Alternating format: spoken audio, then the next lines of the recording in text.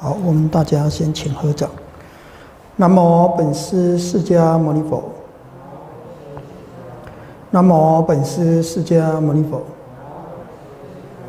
南无本师释迦牟尼佛。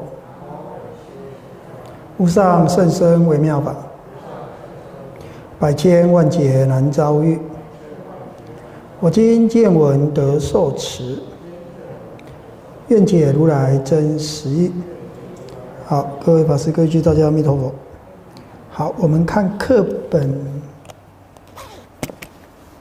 一百三十七页。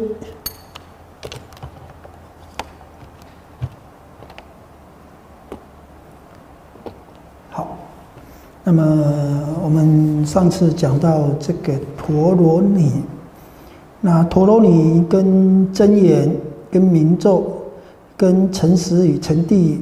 啊，跟咒怨，以及以及这个阿达婆吠陀啊，就是婆罗门的神咒混在一起了。啊，像这种情形在初期大圣还没有那么常见，初期大圣过后，啊，那么就很常见了。你看那个《法华经》就有一个陀罗尼品。啊，那个药王的那个神咒，他就直接翻作陀罗尼咒。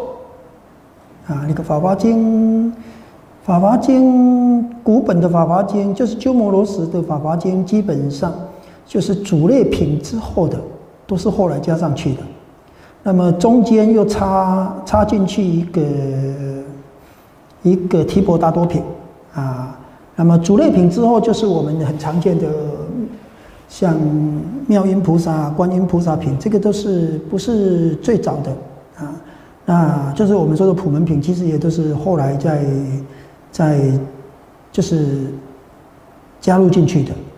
那在原来的秋支本里面，应该是原来就是从印度传到秋支，就西域那一带啊，那么应该还是没有的。那后来就。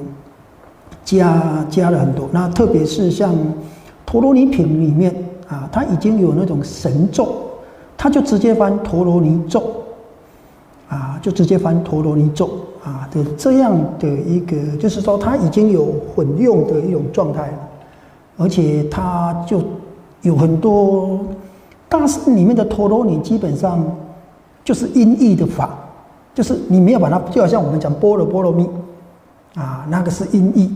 啊，阿耨多罗三藐三菩提，那个是音译，啊，它其实是有意思的，它是一个法，有法义，啊，像我们的往生咒，南无阿弥陀佛耶，大多嘎德耶，啊，其实就是南无阿弥陀如来，就这样而已，啊，因为我没有把它翻而已，就变成一个咒，但是有很多婆罗门的神咒已经都是鬼神的名字，啊，像大悲咒里面，啊，以及人言咒里面，很多都是鬼神的名字。那像这个《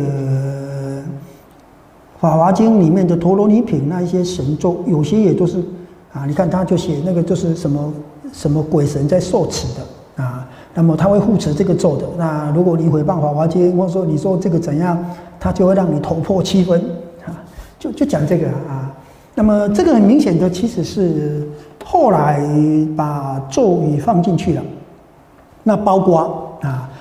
像像这个陀罗尼啊，那基本上依大智度人来讲，就是三种陀罗尼法啊法陀罗尼啊。我们先看一下啊，比如说看一百三十八页啊，一百三十八页陀罗尼有三种啊，有没有啊？就是文词陀罗尼，文词陀罗尼其实就是法陀罗尼啊。分别之陀罗尼，分别之陀罗尼就是意陀罗尼啊。那另外录音声陀罗尼。基本上啊，叫做冷陀罗尼，或叫做啊行持陀罗尼。好，基本上就这三种。但是到了《一切世界论》的时候，已经多了一个咒陀罗尼，法义咒忍多了一个咒陀罗尼啊。那么我们再看啊，翻回来一百三十七页上倒数底下啊，那么这个这个大树紧那罗网所问经啊，那基本上这个一般应该也是属于比较属于初期大圣。那么这里开始就有所谓的咒陀罗尼了，啊，那咒其实不是部派就有了。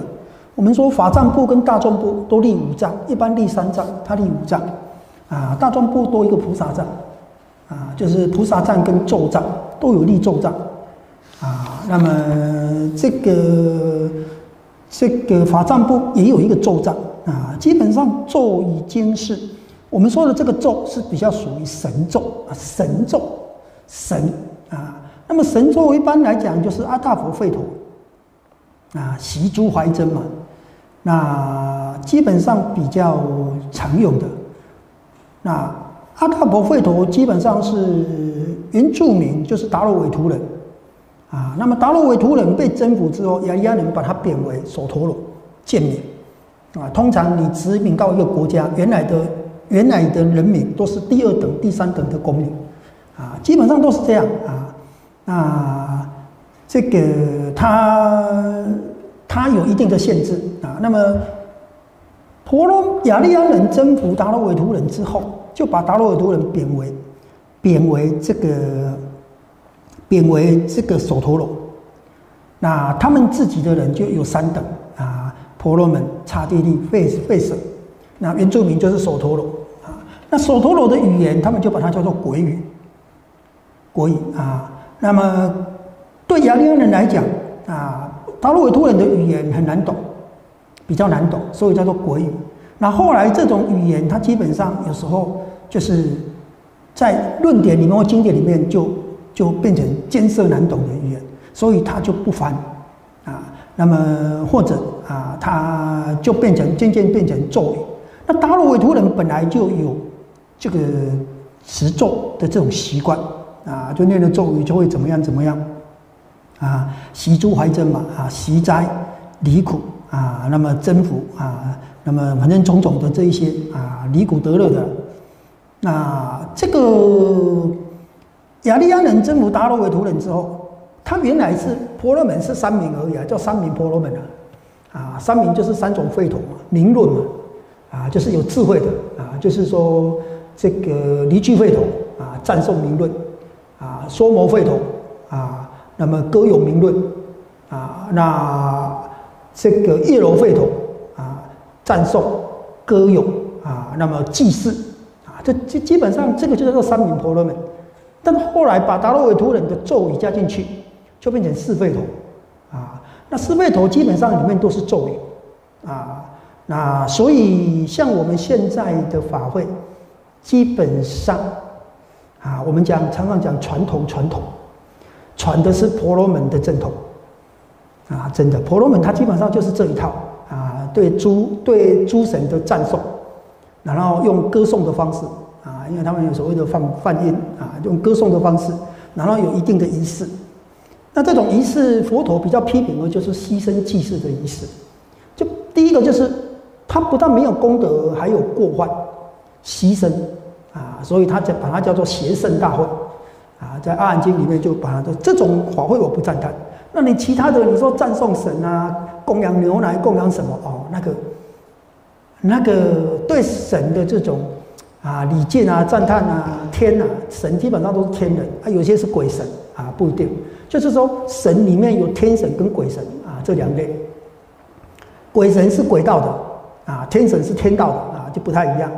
啊，那但是基本上都是对这种未知力量的敬畏啊，那么所以产生出来的啊，比如说通过贿赂的方式、礼敬的方式、称念的方式、赞叹的方式，希望神庇佑啊。那这种是大部分的宗教基本上都是这样比较多。那佛法不是这样啊，那么这种方式就是四吠陀合起来就是一场法会嘛啊，那里面加了很多咒语嘛。啊，那就是希望神的这种护护念啊，那么这样的行为啊，能够离苦得乐，那么为当时的这个新兴宗教啊，尤其是刹帝利为主的，那么反对啊，那这些就叫做沙门集团，这些就叫做沙门集团啊，那沙门集团都是反对婆罗门这套这套观念跟这套理论。跟这样的修行方法，他不认为，第一个他不认为婆罗门是最高种姓啊，是梵天生的啊，生下来就是要领导你们这些人的你们这些次一等的人啊，那么他当然他不认为，那刹帝利当然不认同这个啊，谁说你就是最高的？你是天赋的，天赋的啊，那我们啊就是应该被领导，我们就是要恭敬你，我们就是要供养你。你骂我打我可以，我骂你打你不能不能啊？谁说是这样的啊？当然，大部分的人会反抗啊。所以第一个反对的就是婆罗门至上。那么婆罗门至上的观念来自于吠陀啊，吠陀是神说的，这是神说的啊，不是我婆罗门自己说的啊。神说我婆罗门种种性是最高的，那你要用这样的方式啊，可以升天，可以离苦，可以得乐，可以消灾，可以免难。这是《吠陀经》记载的，吠陀是神说的，不是人编的。神有最高的权威啊，那么他是懂得一切的啊，所以神说的话就是真理，神说的话就是真理啊，所以你要信奉真理啊。那么沙门集团他反对啊，反对吠陀天启，反对婆罗门至上。那么《吠陀经》里面记载。啊！你要习灾习苦，你就是要你就是要啊！透过祭祀，透过对神的赞颂、礼拜、供养，对，那么这个这个必须由婆罗门来引导。婆罗门是神的侍者、使者啊！透过婆罗门的引导，你才能够获得这种功德。透过婆罗门带领向神祈求，你才能够获得神的加持、神的护念！那这个叫做祭祀万能，沙门也反对，啊，他不认为这一套有用，他不认为这一套有用。那后来啊，原来是三明婆罗门，后来把这个又把阿大佛会陀，就是原住民的信仰，又收集起来，成为阿大佛会陀。阿大佛会陀多数都是神的咒语，我们就这里讲啊，真名就是神咒，啊，那么。这个神咒的概念啊，在印度时代就有了，在佛陀时代，那么他厘清了很多的观念啊。那么印度人比较多的啊，比如说祭祀万能的概念，当时的沙门就反对了。当时的六道沙门，包括佛教，其实不是只有这七种，还有其他的啊。你们在阿含经里面还可以看到还有其他的沙门，但是最大的大概就是七种。啊，七大沙门团，那么佛教跟其他的六种叫做六师外道，啊，那佛教是沙门瞿昙，其他的啊，沙门沙门善若仪啊啊，沙门尼犍子啊，沙门富兰那啊，其实有很多。好，那么这些都反对婆罗门。那婆罗门的方式，其实我们如果可以回到两千五百年前啊，来看一下婆罗门的。的一种一种宗教仪式，我们会发现好像跟我们的一样，啊，那为什么？因为婆罗门就是这一套啊，透过祭祀，祭祀就是法会了，啊，那么祭祀在中国当时也很流行，孔子都要孔子都要祭祀啊，啊，祭天通常是祭天、祭神、祭父母、祖先呐，通常是这三个，祭天、祭神啊，各种神。啊，五谷神啊，日日神、月神啊，水海河神啊，通通常这个是一般都有的。还有祭祖先父母啊，那先先历代的祖先，还是一些什么伟大的人文，大概大概不换不不出这几种啊。天祭天啊，天是最大的啊，然后天就包括天神嘛啊。但是像儒家的天，它的概念基本上就是比较属于。啊，这种哎，它是叫一种一种可以讲一种善业啊，一种善的因果啊。那么也记很多，就是比如说像孔子讲的“祭神如神在”，啊，而且他还很重视这个祭礼，非常重视。那孔子那个时代，殷商是重鬼的，殷商是重鬼的啊，就是重祭祀的，凡事都要问过鬼神，凡事都要请过鬼神。啊，所以你没有，你没有，你没有请过鬼神而得来的结论，那个叫做无稽之谈，稽是伏稽啊。那后来我们变成啊，你请你请示鬼神的叫做无稽，那个是稽查的稽，那就不一样啊。最早的那个无稽之谈就是你没有请示过鬼神那么这种这种是不可靠的，只有神说的话才是才是正确的。你没有请示过鬼神的，那么这种这这这样的事情是不可靠的啊，是不能的啊。然后，所以以神为准量。那印度也是这样啊，只是说他的神在佛陀时代主要梵天神、梵天神、高丽天神。啊，那么还有啊，这个大自在天神这三个，叫做佛教叫做天魔梵，那么梵天神在佛陀时代是一个主要的信仰，但是大概佛灭后，梵天神的地位就开始一直往下掉，啊，到现在据调查，印度如果有一千间庙，大概梵天只有一间，其他都是释毗湿奴跟湿婆神的，啊，所以这个祭神它有一定的仪轨。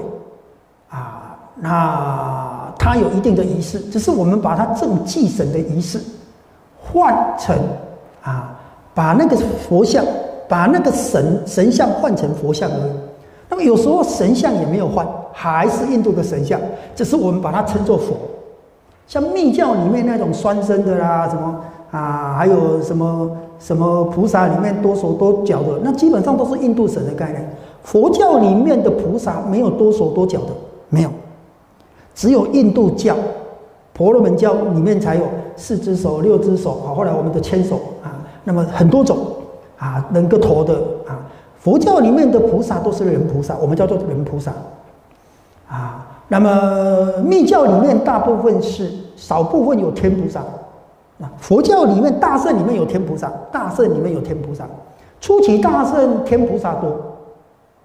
那么阿含经里面也有菩萨，那基本上。就是人菩萨，但是初期大圣还是以人菩萨为主，还是以人菩萨为主。长体菩萨啊，贪污解菩萨啊，这个善财菩萨啊，反正大部分都是以人菩萨为主。那么也有天菩萨啊，到了后期密法里面就变成鬼神，鬼神变成最核心的了。那所以鬼神的咒语就变成啊。就变成也变成核心啊！后来我们说佛教的陀罗尼啊，等一下我们这里会讲陀罗尼。佛教的陀罗尼原来是一种对佛法的、对佛法的这个法法法句、法义啊，一般我们讲啊，法句意味嘛。佛及弟子啊，这个我常常在讲啊，应该是波斯匿王说的，还是还有一个居士说的啊？他说赞叹佛及佛弟子，同法同句，同意同位，同位就是同一解脱位。那得解脱是一个目标。啊依法得解脱，依法修行得解脱，啊，这个是依法修行得解脱。依法，啊，这个是每一个法，每一个法里面的文句，啊，就叫做法句。那么不同的法，啊，人天法，啊，那么解脱法，那这个得戒的、得定的，那么这个文句，我们叫做文句，啊，那么论点里面，啊，那么再讲的再细一点的，叫做名句文身。名声句声文声名名句文就是文字啊，或者就是它那个字那个部首，或是那个声音啊，比如说这个字字。后来因为从这里印度人四十二字，又有四十二字门，华严经的四十二字门。那这个其实我后面大智里也会讲到这个啊，这我们后面再来讲啊。那么名句名句啊，这个其实就是法法同这个法。同这个句，同这个义。那么句文句最重要是要理解它的义理啊。那义理一定要透过如理思维，这个一定要透过听闻，一定要透过听闻，听闻佛法啊。那么知道它的文句。那么你要受持受持，比如说诸行无常，诸法无我，涅盘寂静，它就有三句啊。那一个记啊，那么这个这个就有三句。那你要知道什么叫诸行无常，什么叫诸法无我。那么你由诸行无常了解诸法无我，得到涅槃寂静，这个就是同位。好，那么你看那个陀罗尼也是这样，法陀罗尼，法陀罗尼啊，那么就是这个法具，这个法的法具，每一个法不太一样啊。那么端正法啊，那么解脱法、出药法啊，那不太一样。那么每一个法的里面的法具一定有它的法义啊，所以有所谓的法具经啊，法具经其实就是把佛说的法用比较少的句子、简要的名词、简要的文句，摄受深奥的义理。像《杂含经》编排的时候，《阿含经》编排的时候也是这样啊，它有那个色受，它有那个色受。射诵可以是这个色诵，这个色诵就是把有时候是用前面那个字，有时候是用它的义理来摄持这整个经典啊。十部经为一诵，那这十部经里面，有时候从这个字就知道是哪一部经。那这个经是什么道理？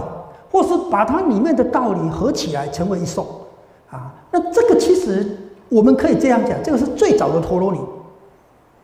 那陀罗尼就是用很少的、很少的名词，比较少的名词，摄夺、摄受比较多的文法句及义理。那么做什么能够依这个法得到解脱？能够修行而得解脱啊！所以这个基本上、基本上可以说，这个就是三种陀罗尼。那后来就变成四种，多了一种咒陀罗尼啊！这个我们如果仔细。研究一下，你就会发现到它其实是这样子的。好，那我们来看啊，就是讲到我们讲到佛陀时代，其实他沙门其实就否定婆罗门的这样的一个观念跟修行方法。沙当时沙门就否定婆罗门。那佛教里面的否定，在阿含经里面看的比较多的啊，那么基本上几个就是。对他的所谓的祭祀的法会，那特别是牺牲杀生的祭祀，福无戒指，罪如须弥。福报，你本来是杀生祭祀，要从天求福的，啊！但是佛陀就讲了啊，你杀生祭祀，天人没有受用到，你实际上也没有供得到人，天人不吃这个东西，啊！天人失一得一，失死得死，不要说。不要说你杀生的东西他不吃，就算你把人间最好的醍醐酥酪啊，印度人当时认为啊，醍醐乳酪啊酥这个是最好的啊，就算你把你最好的蜂蜜醍醐酥酪拿出来供养天，对天人来讲也是也是不好的食物，天人的食物比你高级几百倍，而且。他要吃，他不用你给他，他失一得一，失十得十，这个还是比较低级的天。低级的天还要吃，高级的天残月为食，他根本就不需要吃。像梵天初禅以上，他不吃人，他是残月为食的，他哪里要需要人间的这一些这一些糟糠的食物啊？就不需要啊。那么。低级一点的天啊，四王天，这个四王天以及这个倒立天，他吃的东西比你好几百倍，啊，就好像啊，这个乞丐把他要的饭去供养皇帝啊，皇帝要吃的比你多的是，山珍海味比你多的是，他还去，你你你拖到这一生拖到最好的饭去去供养皇帝，皇帝。啊，也很感念你，但是他根本就用不到你这些。那我们把我们最好的去供天斋天，我告诉你，天人第一个，他的福报比你大，他吃的东西比你好，那么他不用去沾我，他想就有，失一得一，失十得十。他要吃什么时候要吃，要吃什么，要吃多少，他自己想就有。心想事成，这是一种福报。那么他他哪里需要你去供养他？如果天人要吃，还要你张罗，他都比你还不行。他要拿什么给你？我问你，他能给你什么？这个人，这个人要过三餐，要过日子，还要你送饭给他吃，他才可以不会饿死。你还去请他教你赚钱的方法，会他不会自己去赚那我们想就知道，那天人的福报大过我们，失一得一，失死得死。你所谓的你把这些东西去供养天，天人怎么可能吃得到呢？如果是鬼神，那就有可能，因为鬼神也有鬼神要吃，而且他福报不好，福报好的有财鬼也不需要你供养啊。很多人供养，当然也是人间供养的，但是啊，大部分有财鬼福报是大的。到哪里都有人供养，啊，当然一般的就不一定。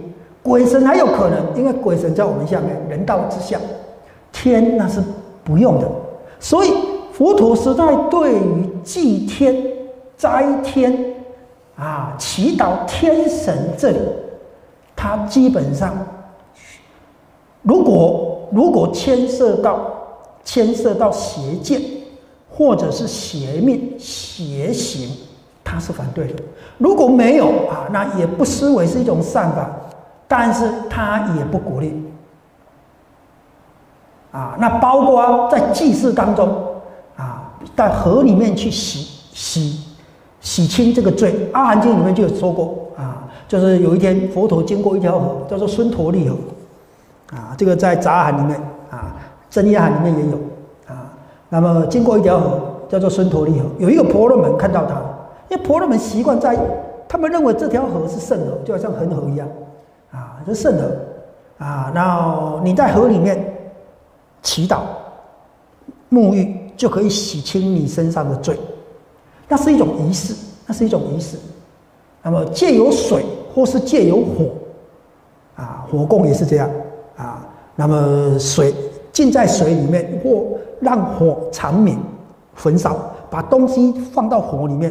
焚烧来供养天神，火供是火供是借由这个火，那么把东西木头啦、香的啦、色身香味触啊、谷物啦、牛奶啦什么丢进去，然后烧完之后，那么这个来供养天神。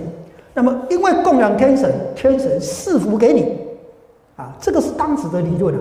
那我们刚才讲过，天神如果还要需要你供养，他才有的吃。他才能过日子，那他拿什么来赐福给你？那么，就算佛陀来讲啊，那么天神确实有能力，不要说天神啊，鬼神也有能力，不要说鬼神啊，就畜生也有能力造成你的痛苦。一只蚊子叮了你，带着带着细菌，都会让你生病，都会让你死亡啊！啊，所以即使畜生也有能力啊，一条蛇都可以咬死你啊！啊，它也能够影响你啊。何况是啊，一般我们说天神鬼神其实也有，但是但是啊，这个都是有因有缘的。以佛法来说了啊，他没有办法无因无缘的，他就怎么样啊？他就给你灾难啊，他只能影响你，他没有办法赐福给你，他没有办法赐福给你，也没有办法帮你灭罪。不要说天神不可能，鬼神更不可能。佛也没有，佛也没办法，佛菩萨也没有办法就把福报赐给你，把灾难把你免除掉，那是不可能的。那佛教一直在，佛陀一直在不断的、反复的说明这种道理。那在《阿含经》里面，在绿点里面，你是可以常看见的。但是后来，后来到了初期大圣之后，啊，那么开始讲讲究这个菩萨道，啊，那么菩萨道是对的，啊，其实是佛佛陀本怀的，啊，《般若经》讲的空也是符合佛陀本怀的。但初期大圣之后，慢慢慢慢，慢慢慢慢，这个佛法开始啊，跟原来的婆罗门教受到很多婆罗门教的影响，开始融合原来的婆罗门教，然后慢慢慢慢。祭祀、祭祀、咒语啊，那像这个以水洗啊，以这个烟供、火供的方式啊，慢慢慢慢渗入到佛教里面来啊，以祈祷啊，这我们只是本他们是向天祈祷，我们是向佛祈祷啊，只是这样啊。那我们说婆罗门那么佛陀经过孙陀利河，这个婆罗门就问佛陀啊，就瞿昙，你有到河里面沐浴了吗？这条河是圣河啊，那么它有洁净的功能，它可以洗去我们所有的罪啊。你有去沐浴了吗？啊啊，佛陀说不是的，水只能只能够洗去身上的污垢，不能洗去心里的污垢。我们如果有罪，不是依着这个河水来洗净的，而是要依忏悔，依我们啊这个。这个努力啊，那么除去烦恼，而才心才慢慢变清净。那么像这一种透过仪式、透过法会、透过咒语、声音一个咒语啊，让我们讲这个神咒，然后就可以灭罪，就可以有守护你的功能啊，一切鬼神不能侵犯啊，一切恶业啊不能增长。一切善业啊，那么很快速的增长。佛法没有这么说。我们说佛陀当时所反对的啊，就是直接反对的。第一个就是透过这样的仪式，那个是所有的沙门都反对，所有的沙门都反对。透过这样的仪式就能够得到一定的效用，透过对神的祈愿啊，那么就能够得到神的加持啊。那么当时的婆罗门认为，啊，这个天神啊有很大的功能。那么你常常对着天神祭祀祈祷，那么你死后你就可以升天。佛陀就跟啊那个叫《切弥尼经》嘛，《中阿含切弥尼经》嘛，佛陀就跟切弥尼说啊，切弥尼啊，如果啊你把石头，你把一个大重的石头，不要说重的石头，小石头就好了，你把小石头丢到这条河里面，你一。旁边的人都在祈祷，石头浮起来，石头浮起来。钱米尼啊，你看这个石头能够浮起来吗？啊，不行啊。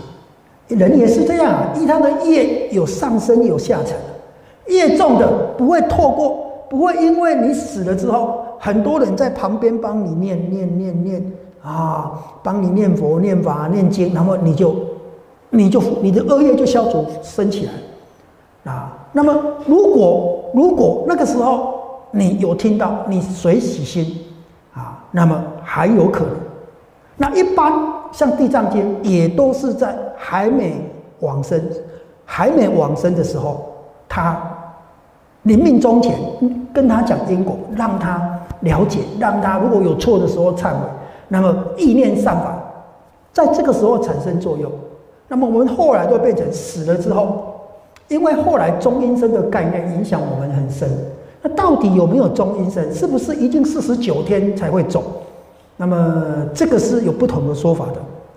好，那么就算有中阴身，中阴身还没投胎吗？还没投胎，它还是有作用的。他听得到啊，他这个身体已经没有，但是他不是靠这个耳朵听的，他中阴身很灵力啊。假设有了啊，那有的难喘的是讲没有的啊，那有些是讲没有的。那么一般我们现在大部分都认为是有，啊，有时候有做七嘛。那这几天一般来说中医生有，是因为他三恶不定，所以他才有中医生。如果三恶决定，那么他直接这边死那边就生了，啊，一刹那间记得往生啊，不是往生记得生，是往生到他的三界六道里面，上升下沉，这边死那边就生了，相续没有间隔的。那后来好，就算有中阴身了，那么中阴身最多七七四十九天。那么这个时候，这个时候啊，那么你并不是帮他做了，他就会影响他，也不一定。因为如果那个业力很重的话，他也影响不了。啊，就好像这个他有业障了，有报障了，啊，就好像这一只狗，它听不懂你的话，即使它稍微了解你的意思，你跟他讲缘起。你天天跟他讲缘起，天天跟他讲缘起，他可能认得你一些声音，但是他没有去办法去思维缘起，他是没办法的啊。他，你跟鹦鹉讲缘起，他也许可以把缘起背起来，无名缘行，行缘事，事业名色，他可以背给你听，但是他不会知道里面的意思啊。那么，所以在一个业为主导的状态里面，他并没有办法就这样产生决定性的改变，是没办法的。所以佛陀也跟这个前面你讲啊，即使即使这个石头丢到里面去，你找了一千个人、一百个人来啊，跟他讲祝愿他浮起来、浮起来、浮起来，他不会浮起来啊。那么到河里面洗罪啊，那么那么祈祷可以升天啊，那么这个火供可以消灾，可以得福啊，烟供、火供啊这一些。烟供火供，我刚学佛的时候还很少，还非常少。现在多了啊，因为有人特别在推广，那就多了啊。那么咒语在唐朝、宋朝的时候还不多。唐朝即使有很多唱啊，那个咒语还没那么多。到明朝、元朝，元朝就是喇嘛教比较多嘛。那么开始流行往生的佛事，往生的佛事，元朝之后才开始。那么明清就渐渐多起来，啊，那像我们的这个禅门日诵，那么已经都是啊十小咒啦、人言咒啦、大悲咒啦这一些啊，法会里面一定都有这一些的啊，包括吃饭的时候要念念念准提咒啊，那么这一些后来影响我们非常的深，甚至毗尼日用里面都有每一个好像五十三个嘛，后面都要附一个咒啊。那么这一些后来都变成我们理所当然，就是我们会觉得啊，这个就是佛法，佛就是这样说的。如果你真正去研究佛法，你会发现到这个是婆罗门法，这个不是佛法，甚至不是正统的婆罗门法。正统的婆罗门也没有做。后来，后来啊，阿大佛吠陀啊，把达罗韦图人啊的这样的文化。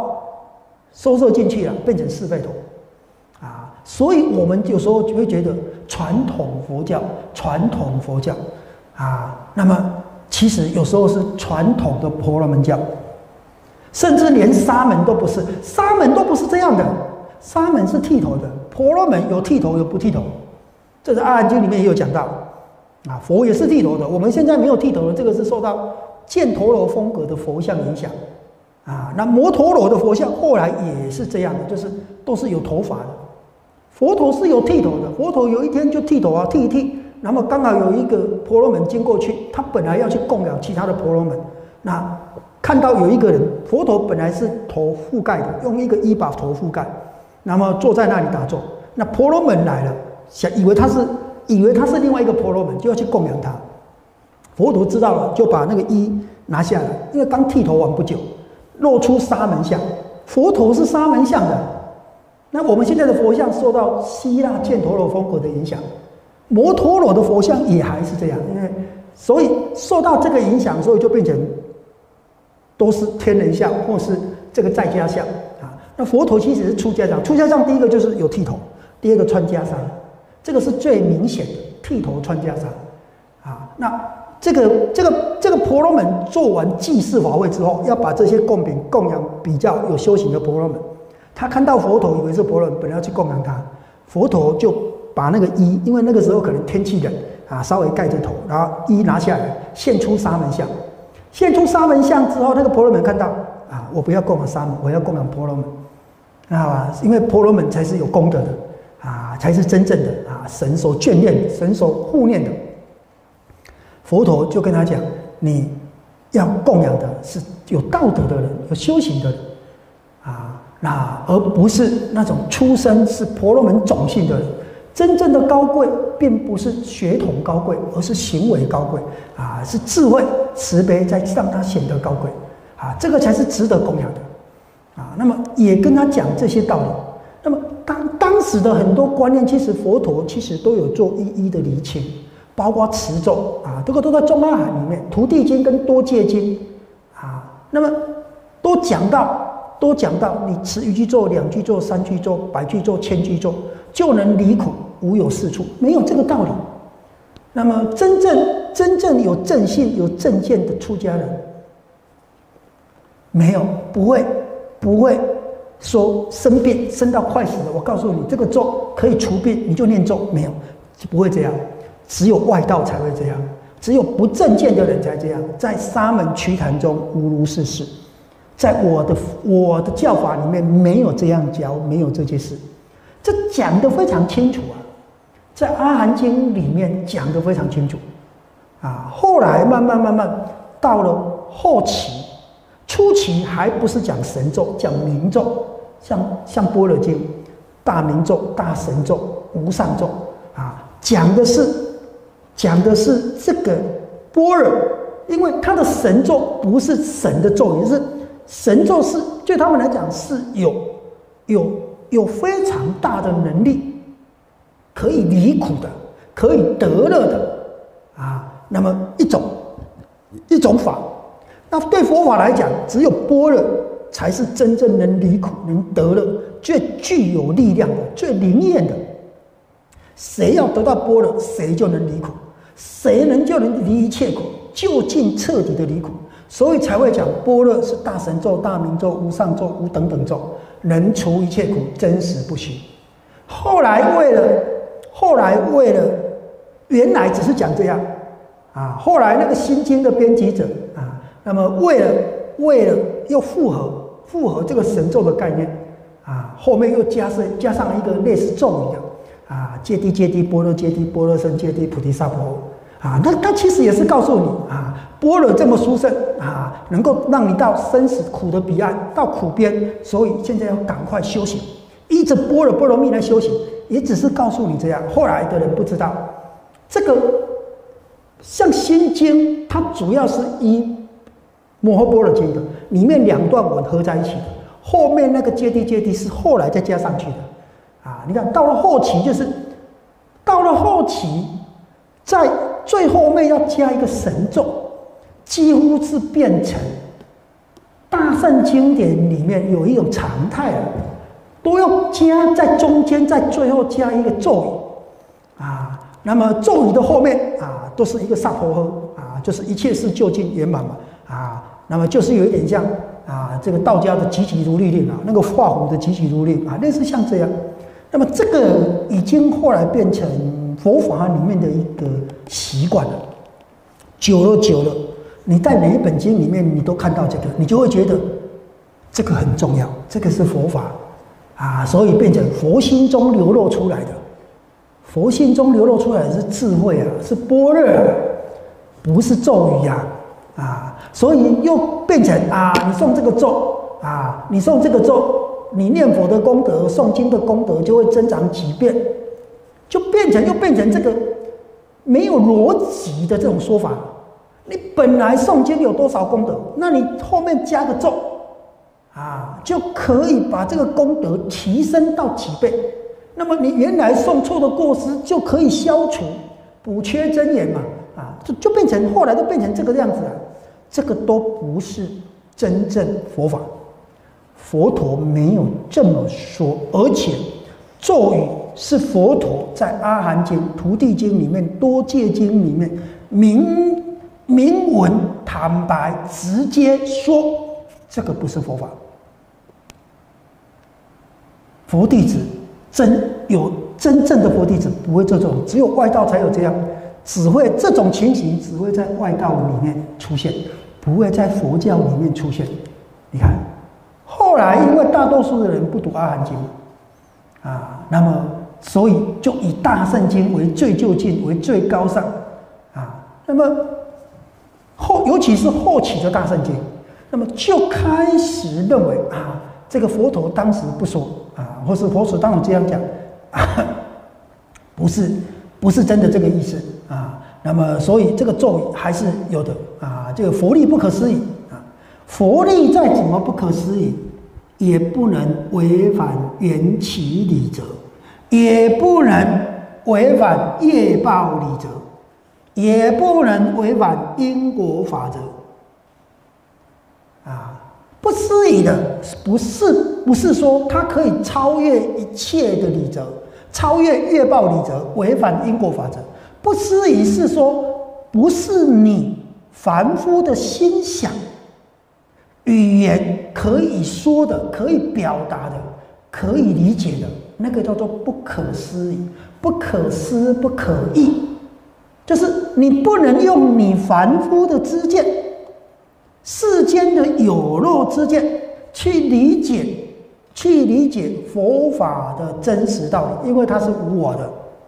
你用你世间虚妄分别的心，去用这一种原本错误的概念去想象、去理解，理解不了。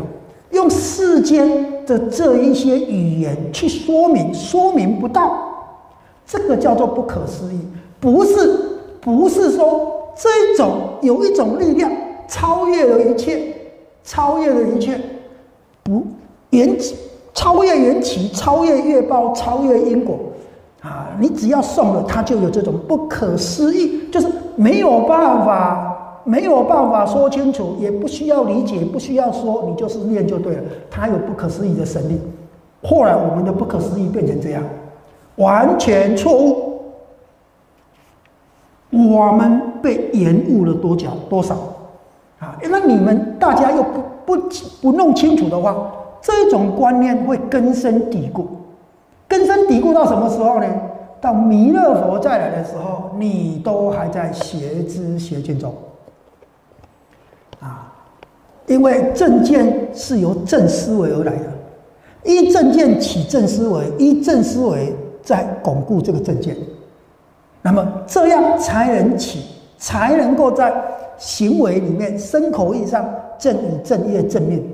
然后最后才则由正念正定，然后来得出世间正见。法具意味也是这样来的。那我们现在，我们现在对这样的佛法，其实大部分的人对真正的佛法不太理解，真的啊。那么知道佛法讲缘起，知道佛法讲无我，没有人在修缘起，没有人在修无我的，没有。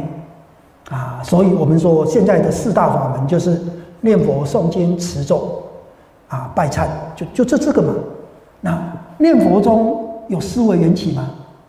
原来的念佛还是思维缘起的哦。原来的念佛波多三昧还是思维缘起的，只是以念佛为色心，然后见佛，就好像你观落日一样色心。见佛之后，见佛之后，佛也不来，我也不去，我为什么见佛？持有故彼有，有持有是什么心？因为心念心意念故，所以我见佛。啊，还是观缘起的。那么心又是什么呢？心怎么来的呢？心到底是怎么来的？受想行，根尘是合合生，处处具生受想行。你就了解到心也是缘起的，从这个里面知道缘起无我。那么当你了解到缘心也是虚妄的。心也是无，就是虚妄不死的，不是真实的时候，这个时候你就见缘起，见缘起的时候就见一切佛，所以见法即见佛，即见十方诸佛，因为十方诸佛都是依缘起而成佛的，都是见缘起而成佛的，所以这个时候你虽然只见一佛啊，阿弥陀佛，你就是见十方佛，就现前见十方佛，他还是这样的哦，啊。那么诵经，诵经是要明白它的道理。诵经要明白它的道理，明白什么道理？明白诸行无常，诸法无我，涅槃即性的道理。明白有因有缘世间集，有因有缘世间灭的道理。啊，那么重点还是这样。那拜忏呢？拜忏也是一样。拜忏你要知道，你为什么会造这种罪？罪从心起，将心忏。心若灭时，罪亦亡，也是一样啊。你看。讲到最后还是一样，心是怎么造罪的？这个心是什么？心罪俱亡，两俱空，四则名为真忏悔。你看还不是一样？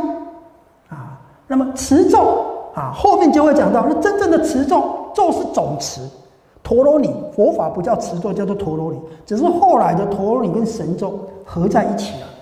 那么这个在阿含经里面其实都有反复说明，反复说明。啊！而且对于当时婆罗门透过祈愿能够升天，透过苦行能够消业，透过水洗能够灭罪，啊，那么透过火供啊，能够能够得福，能能够解脱，透过持咒能够灭苦。对于这样的一些观念，佛陀都否定，否定，而且说。我沙门瞿昙中无事事，没有这种事，也没有这种道理，无有是处。如果这样就能够灭苦，没有这种道理，不可能有这种事。所以，我们一定啊，要确认再确认，肯定再肯定，理解再理解，那么能够从你才能够得到佛法的真实意义。因为我们大部分的时间跟心力都用在无益无利的事上。用功是很用功，专注是很专注，虔诚是很虔诚，但是没有多大的意义，没有多大的意义。这个是我们现在不管是在家出家，都一定要先理解的一件事啊！那么多佛陀时代，那么多修行人，沙门婆罗门，那么多修行人，几个见缘起？如果没有佛出来讲，舍利佛、目犍连、阿那律啊，这一些人基本上都还是这样祭祀万能的常态，都还是在这种状态里面啊。所以我们现在那么幸运，可以知道这种法，这一生我们就要把它弄清楚，而且你要养成养成思维缘起的习惯，而且。所以你要你要能够入圣流向解脱，第一个要断的就是戒进取。戒进取就是什么？非因即因，非果即果。那一些沙门、那些婆罗门的方法，都是不是非因即因，就是非果即果。啊，所以一定要先断这个，然后再去理解什么是缘起，什么是四谛。缘起就是四谛，所以断疑。对于缘起没有缘起四谛没有任何的怀疑，就是肯定。确认之后，那么修行，知道生死苦的根本在我见，所以从此断分别我见。从哪里断？从六路处去断我见，从受上去断我爱。其实佛法是这么教的。你如果能够这样做，一日、两日、三日，一年、两年、三年，你现这一生就算没有解脱，你哪一生一定都是这一生肯定是向解脱的。啊，这个是非常重要的啊！我们先下课。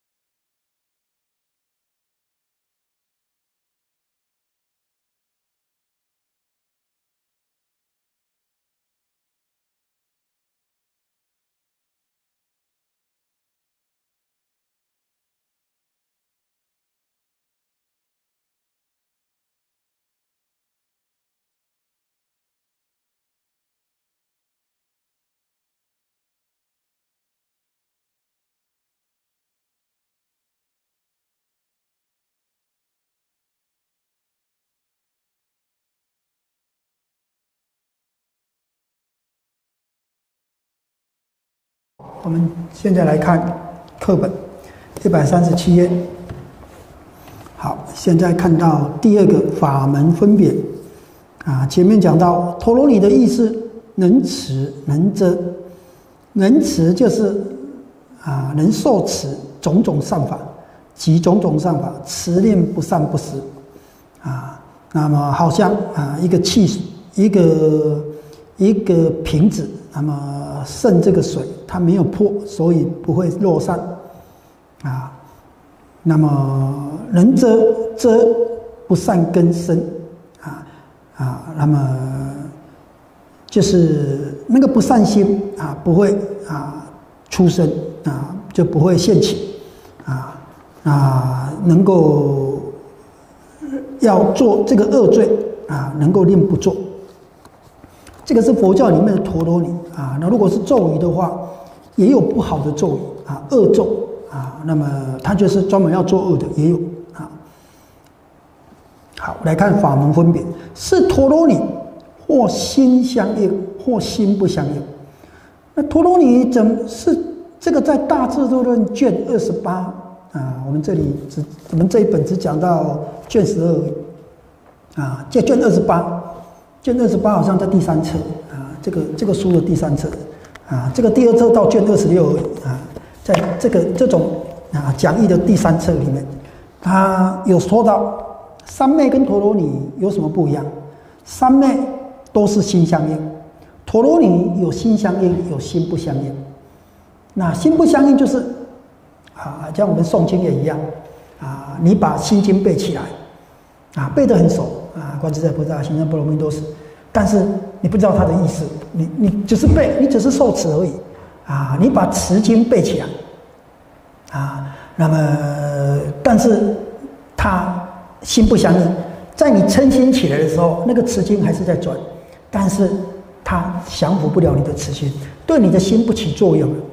那在这个大智论卷二十八里面，他就说到，啊，为什么什么叫做心相应，什么叫做心不陀罗尼心相应，陀罗尼的跟心不相应。啊，他就比如说陀罗尼这里大智论讲三种陀罗尼，啊，就是后面这里讲三种陀罗尼。那如果再跟卷八十五的合加一起看，就四种陀罗尼，就是加一个十相陀罗尼。好，那这三种陀罗尼里面啊，就是十相先不说，就三种陀罗尼里面啊，那么这个这个里面文持陀罗尼是心不相应的啊。他举个例子啊，心不相应的陀罗尼。就好像人得这个文持陀罗尼啊，因为陀罗尼有三种嘛，啊文持啊，那分别知跟录音声嘛。好，你得了文持陀罗尼啊，那么虽然你心啊，那佛法跟你讲的都是啊，叫你要离烦恼的，叫你要离恶的。那么你虽然得了文持陀罗尼，但是你心不相应，这个陀罗尼跟你的心不相应啊。啊，你只是朗朗朗朗上口而已啊！那所以他，你虽然起嗔恚，陀罗尼还在啊，但是嗔恚心也一样在啊，所以他是他这个陀罗尼不能够对你的心产生好的作用啊，因为他这里讲啊，陀罗尼能起能集种种善法，而且能让恶不善根心。生遮令不生。假设你嗔恚心升起来的时候，它陀罗尼有作用，跟心相应，能够让你的这个恶心不生。那现在你虽然持陀闻持陀罗尼，你你背是背起来了，就好像那个六祖坛经里面那个法达，法华经诵了三千部啊，差不多背起来了，但是他不知道法华的意思，天天在念心经，不知道心经的意思。天天说因果，不知道什么是因果；天天讲无我啊，那么这个都是依我见我爱啊，那么在在修行啊，所以你的陀罗尼并就像现在一般念的咒语，他根本就不在那念什么，但是他那个他那个会背，比如说大悲咒，简单讲，那大悲咒真正的用意是起大悲心，大悲心陀罗尼其实跟那个咒语没关系，它重点就是。你能够依这样的道理起大悲心，啊，那么这个才是真正的大悲咒，就是大悲心起大悲心的嘛，起大悲心的陀罗尼，那里面可以有很多的文具，让你起这个大悲心，让你受持里面的意义，就是口诀啦，啊，那所以大悲咒也有很多版本啊，一般到台湾的，就是到翻成汉文的啊，那么大概有三种，那么我们流行的是八十四句的嘛，好。那么佛陀时代的可以说大悲咒、大悲心陀罗尼，其实就是持经啊。那么持音作经啊，或者说持心经啊，这两个是不太一样啊。那么基本上都是这样的。那么我们可以把它叫做啊大悲咒，或者，比如说啊四无量心、慈悲喜舍啊。那么这个也可以是总持一切大悲心的。那么它会对你的内心产生作用。啊，大智度论卷二十八讲，他在分别三昧跟陀罗尼的不同。三昧一定是心相应，三昧一定是心相应。陀罗尼有心相应，有心不相应。因为三昧是三摩地，是心心的境界，陀罗尼就不一定了。啊，陀罗尼也是色心没有错，但是它不一定跟跟这个陀罗尼这里讲的陀罗尼就是能够下能够行善，能够断恶嘛。但是它不一定能够，它不一定产生这种作用，所以《大智度论》卷二十八里面就说到，不相心不相应的陀罗尼，比如说你文持陀罗尼啊，但是你没有从文持陀罗尼进入什么，进入那个意陀罗尼，分别知陀罗尼，就是你文法没有如理思维，那个法不入心，意思是一样的。你那个陀罗尼没入心，那个因为陀罗尼所受持的就是法嘛，陀罗尼所受持的就是法，那个法不入心，是因为你没有经过分别知，没有经过思维，所以他那个叫做心不相应陀罗尼，啊，所以或心相应，或心不相应，啊，那一样啊，你法你也可以把心经从头到尾背起来，但是我告诉你什么是五蕴，你不知道，什么是什么是空，你不知道，什么是四谛，你不知道。什么叫做无名？无名亦无无名尽，乃至无老死亦无老死尽。那你不知道啊？那你真认总认为我只要从头到尾一字不漏、一字不误的把它念完，我就有功德。心不相应啊！你看，那我们也是啊啊！拜忏不晓得拜忏的道理啊，我就把参加这种法会，三昧水忏、梁皇宝忏。啊，我只要从头到尾参加了，啊，我就得功德。八关斋戒也一样啊。人家问能不能持啊？能持，能持，能持。到底能持什么也不知道。啊，那么受完菩萨戒也不知道菩萨是什么，菩萨戒到底要遵守什么？只知道受完菩萨戒回来，只知道要吃素。啊，要点戒疤，这两个最重要，其他的都不知道。啊，没有意义。啊那学佛啊，只知道要诵经、要念佛、要求往生，其他的都不知道啊。所以这种状况是我们现在最常见的。那陀罗尼，陀罗尼像我们现在念的陀罗尼，也还不是初级大乘的陀罗尼，还不是哦。但是大部分都是心不相应的，没有没有离恶向善的功用，没有离欲向善的功用。更不用讲离烦恼向解脱了，佛法就三件事嘛：离恶向善，离欲向善，离烦恼向解脱。啊，那陀罗尼基本上就是依这个法句，那么产生了解而能够而能够离恶向善。啊，所以他讲陀罗尼两种作用嘛。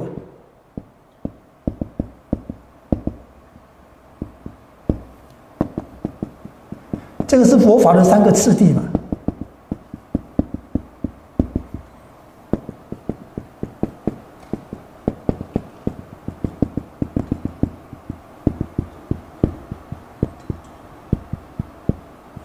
那么这个法里面的法句，你要明白它的道理、修行的宗旨、修行的理论、修行的方法、修行的次第、修行的殊胜、修行的功德。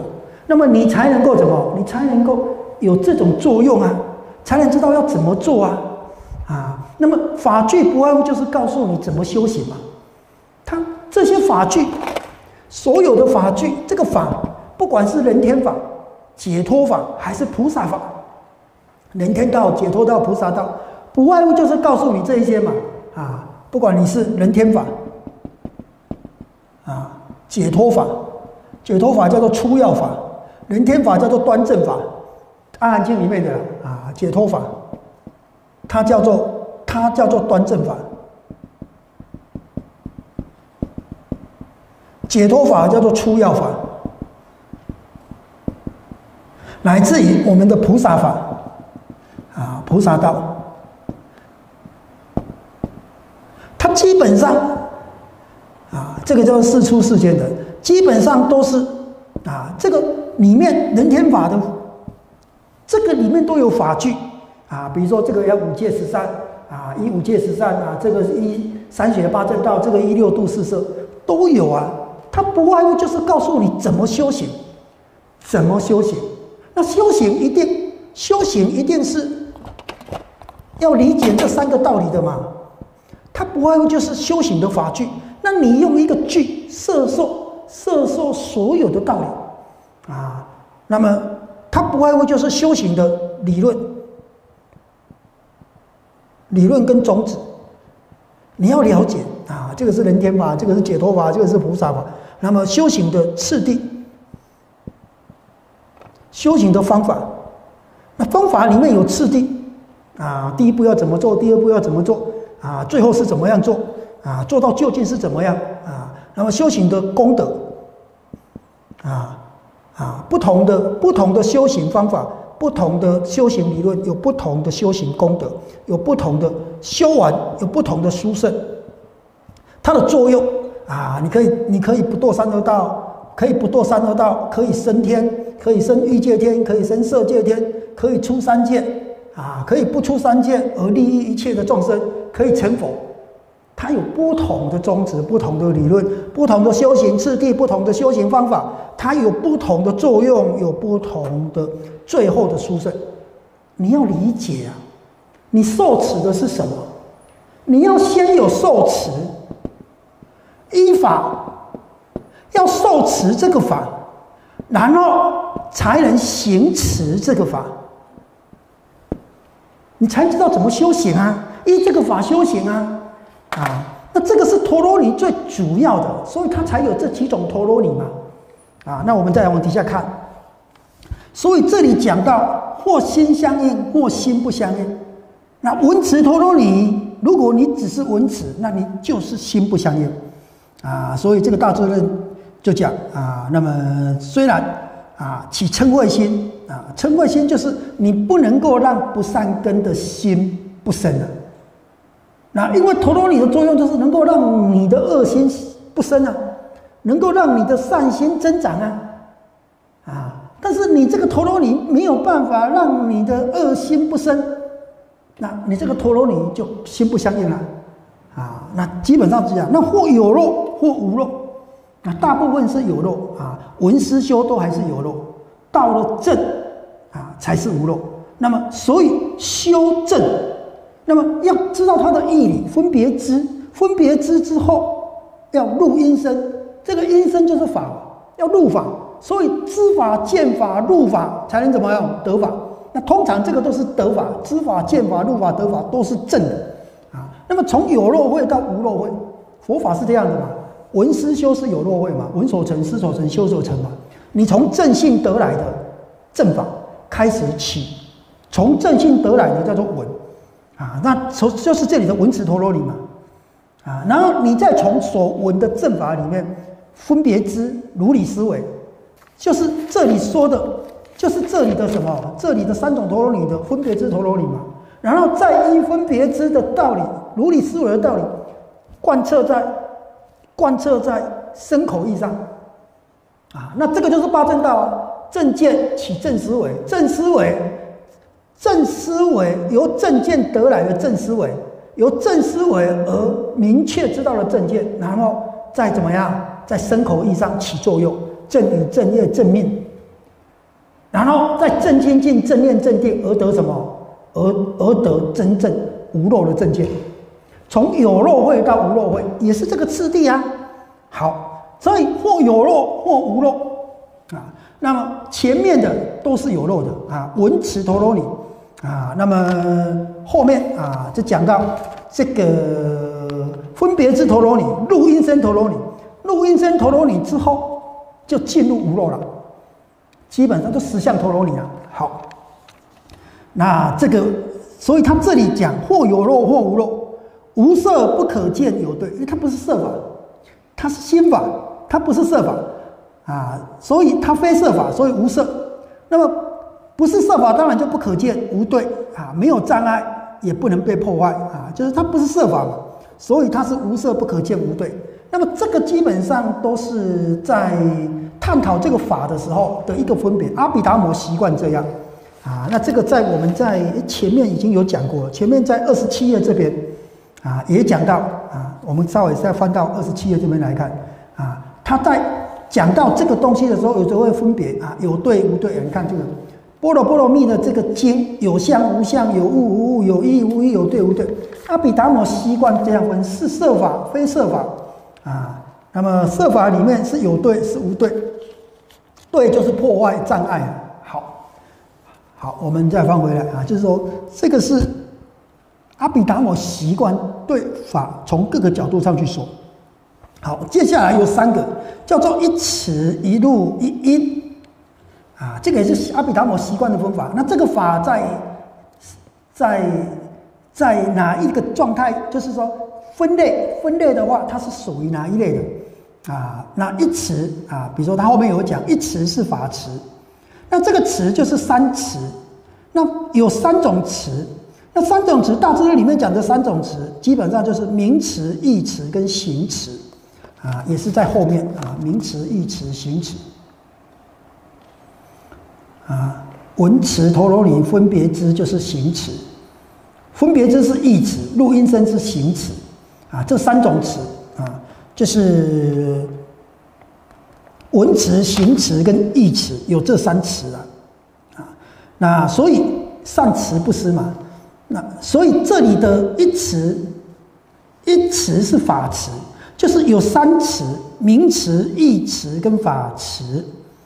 啊。那么三种里面是法词，那我们看它的注解啊，注解里面啊，它二十六。二十六里面有讲四种陀罗尼：法陀罗尼、意陀罗尼、啊圣意陀罗尼、啊咒陀罗尼跟圣意陀罗尼。那这个是我们说这个是《大树紧那罗王经》里面的。那如果是这个《一切是地论》的啊，那基本上啊，那我们把它写起来好了，不然这样讲会不太清楚。好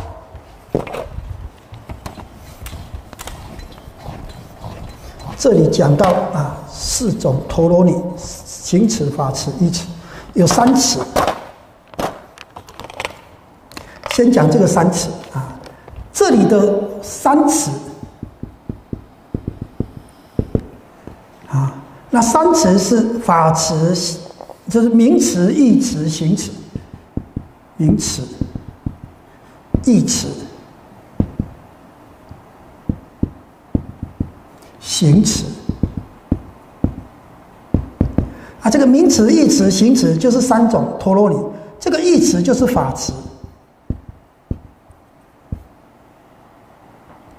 啊。那么，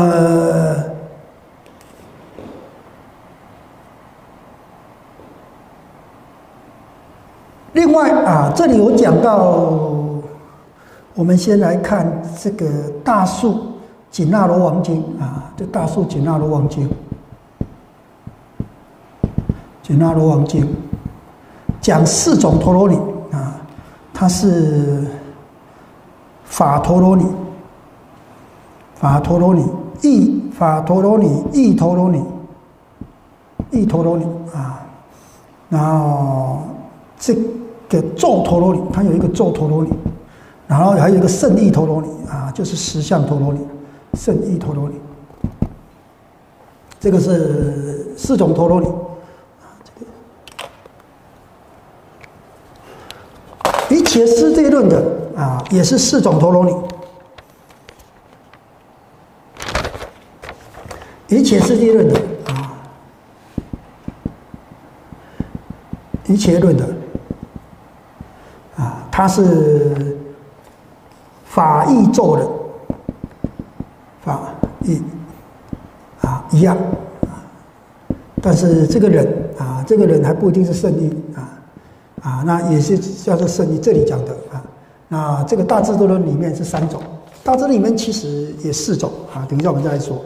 大智里面这里说到是文词啊，分别之录音声。文词其实就是法，文词智论，文词分别之录音声啊，录音声其实是这里人啊，录音声啊，这个是卷五的卷八十五后面。啊，文词陀罗里面还有一个实相陀罗尼。啊，在卷八十五这边还有一个实相陀罗尼。啊，他讲两种文词，文词包括这三种，然后加一个实相陀罗尼，所以加起来其实就四项四种。啊，然后呢，不空的这个解释陀罗尼里面的，他也讲到四种啊，那四种就比较是所谓的啊，那么。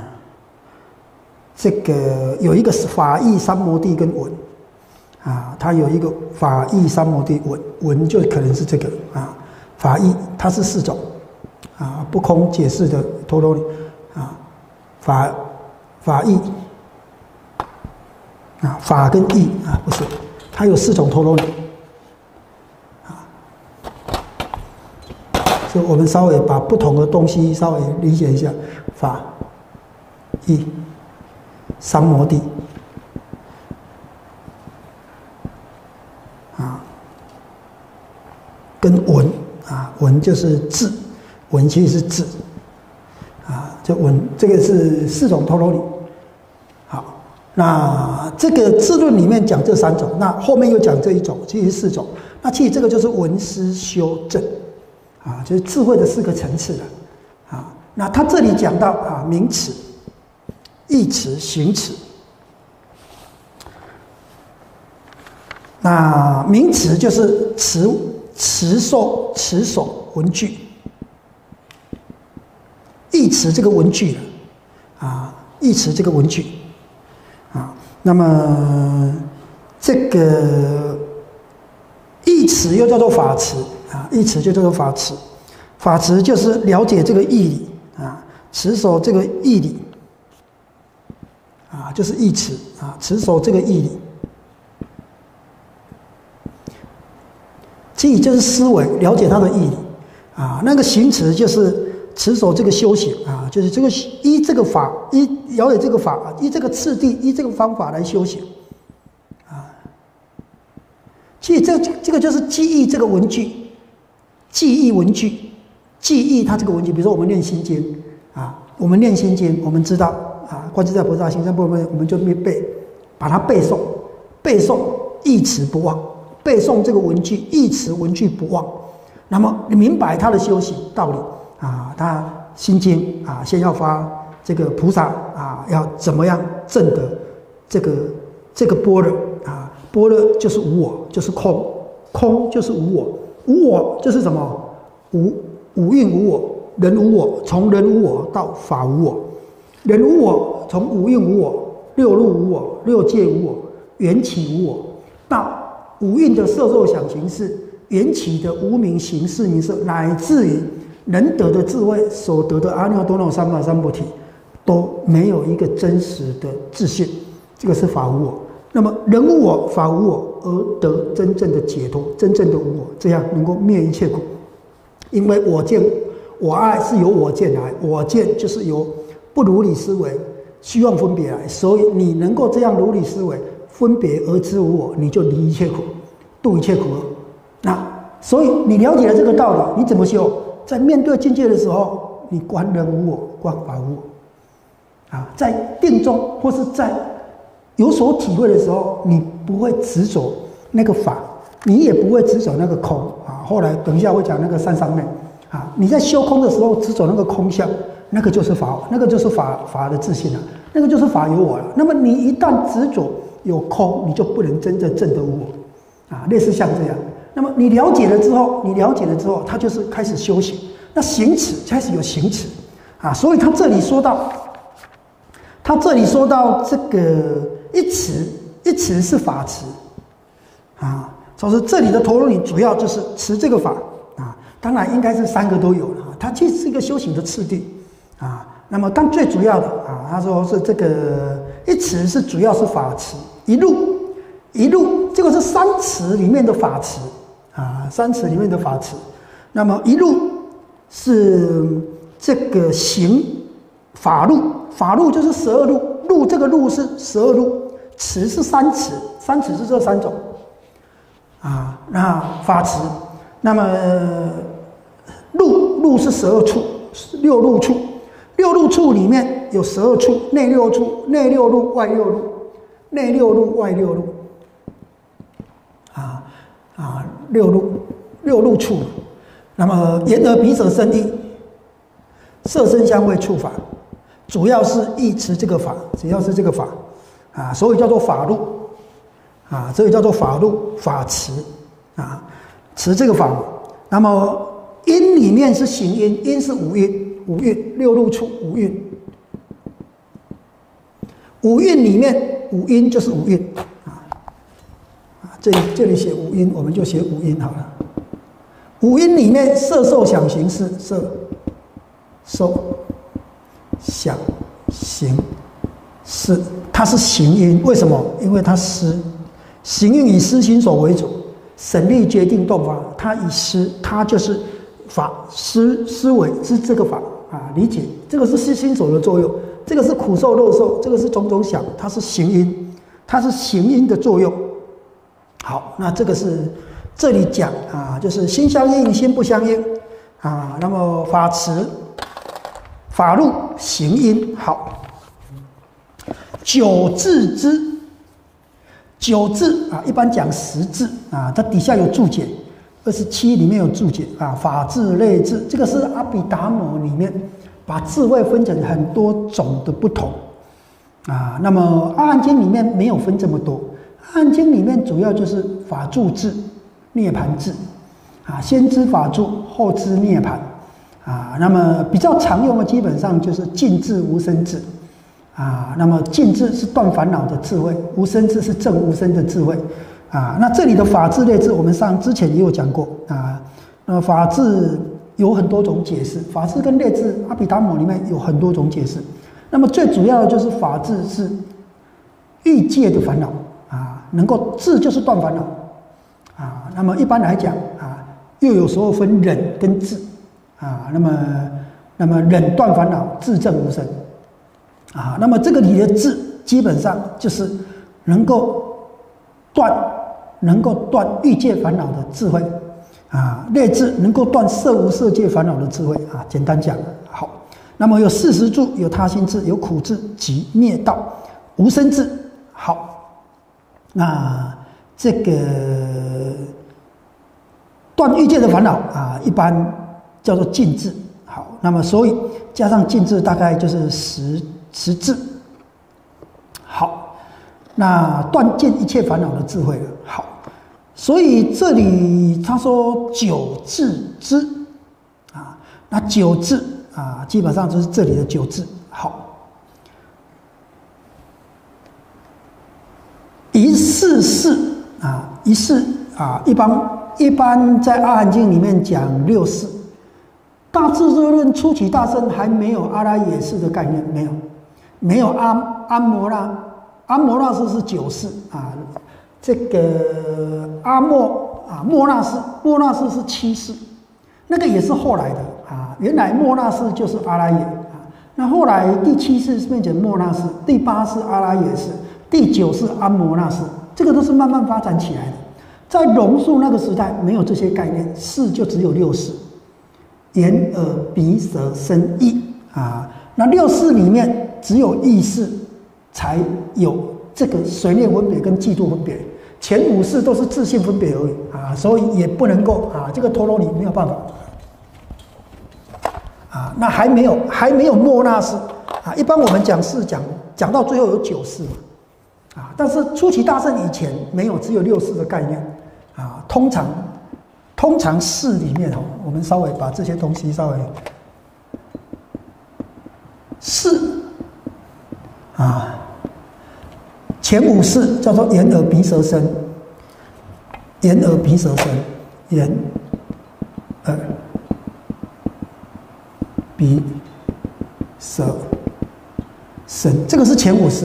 那么前五是四是了别，眼耳鼻舌身。色身啊色受想行识。四是了别，啊，那但这个色受想行识的是是心事，它是指心事，它心事有受想行这个心所啊，那么这个是前五识，它只有自性分别，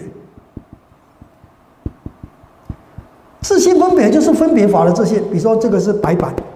你就只是看到白板，声音就只是听到声音。这个声音讲什么？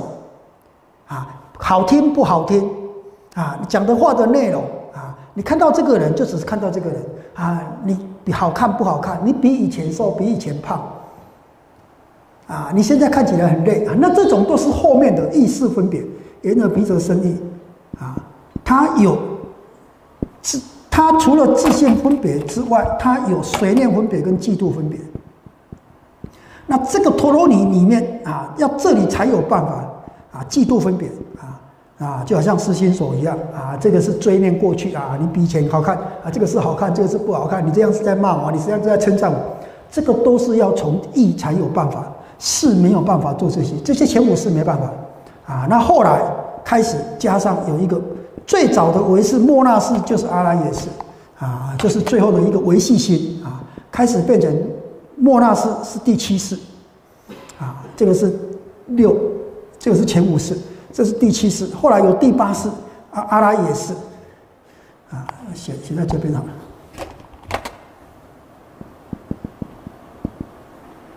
啊，那意识有随念跟嫉妒分别。后来啊，有所谓的，有这个是六世，到到初期大圣以前就只还只有六世而已。没有七八九这三世的概念，七世八世这个是后期大圣才开始有的啊。第七世啊，莫那世，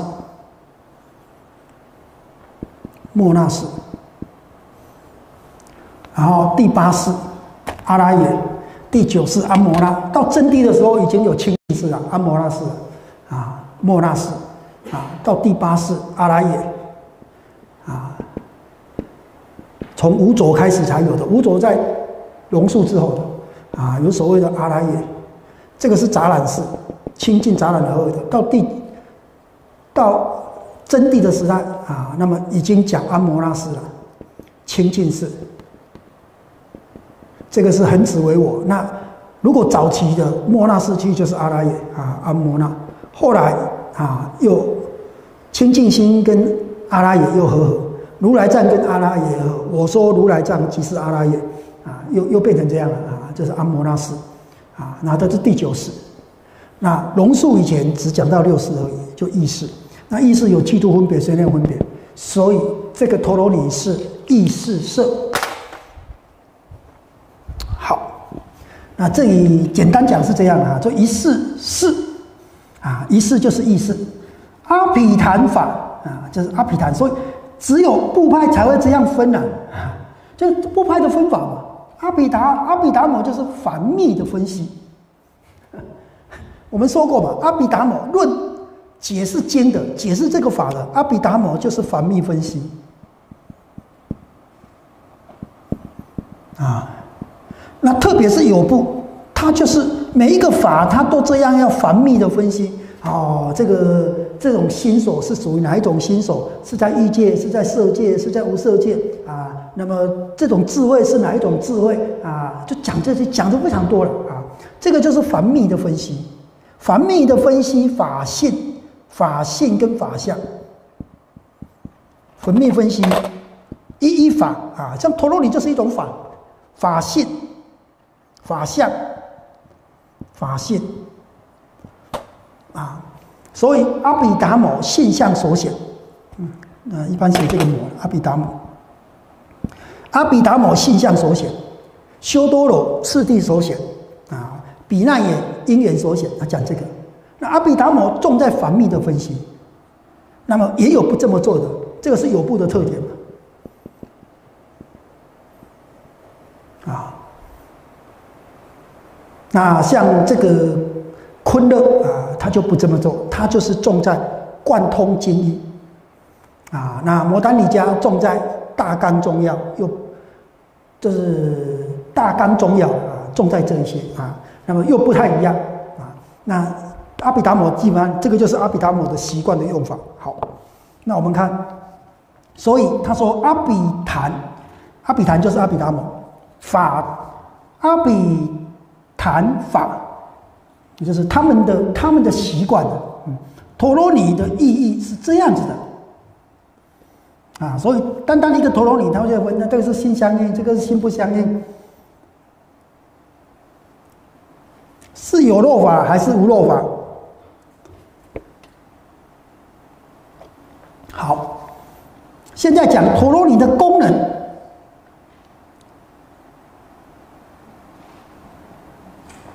他说：“得陀罗尼菩萨，一切所闻法，以念力故，能持不失。”啊，陀罗尼这个就是陀罗尼的作用啊。其实它就是口诀了啊，心药我们叫做心药口诀。那早期的法句经或是那个佛陀，不是佛陀，大家是在解几经典的时候。也是利用那个射诵，射诵，啊，射诵有时候射的是文句，有的时候射的是义理，啊，不一定，啊，那个其实也可以算是一种陀罗尼，啊，好，啊，寄诵也是类似像这样，啊，所以有些寄诵很难明白，啊，要要解释，啊，你看那个那个世亲菩萨做了三次维持三次送，那维持三次送他也没有解释。啊，聚舍论还好有解释，聚舍论如果没有解释，我看在现在聚舍论有好几家，啊，那么唯识上说没有解释，啊，那么他就往生了，只剩下寄送，后面的人十大家，啊，以护法为主，啊，把唯识三十颂有十大家解释，啊，那么这个这个玄奘啊，那么本来十本都要翻的，后来觉得太复杂了，啊，亏机建议他。杂糅啊，所以变成成为世论嘛啊，基本上是这样，就是说，他那个寄送里面包含很多道理，那原来到底是什么道理，他不讲啊，只看那个寄送，其实还不容易明白啊。那如果我们现在连那个连那个只翻那个音译，那就更不明白啊，只翻那个音不翻那个名啊，就是没有把它意义意义翻译出来，那就更不明白了。好，所以他说这个。这个以念力故能持不失啊。复次是陀罗尼法常足菩萨，譬如见日念病啊，我们隔日念啊，我们看一下注解。那么见日见日就是隔一天隔一天的，见就是间隔嘛，见日念就是隔日念，见就是间隔，每隔一天发作一次，其实也不一定是隔一天啊，就是时不时它就发作了，三不五时发作了。像我们看那个，看那个羊癫那种也是会这样，它有些会几天就发作一次，但是现在好，现在吃药就可以控制，啊，就会发作一次就会发作一次，啊，那就是或是紧张的时候就会发作，啊，那个就是神经不到受到控制。那么这里讲的就是说，就是。它会一直存在这种现象。啊，就是你有陀罗尼，你就一直一直一直，你你就算得陀罗尼，就是你不会真正的忘记，但偶尔会思念忘记，但不会忘记很久。啊，你很快就记起来了。啊，所以叫做陀罗尼嘛，总持嘛，能够啊，简单讲，总一切法持一切意，持一切法知一切意。